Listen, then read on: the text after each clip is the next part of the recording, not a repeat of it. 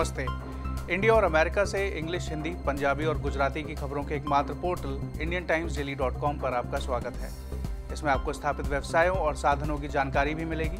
मैं हूँ सौरभ शुक्ला और आज की मुख्य खबरें हैं।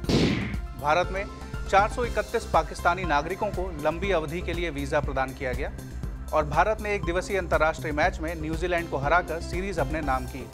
अमेरिका में गवर्नर जेरी ब्राउन ने वाइल्ड फायर में मारे गए लोगों की याद में एक दिन समर्पित किया।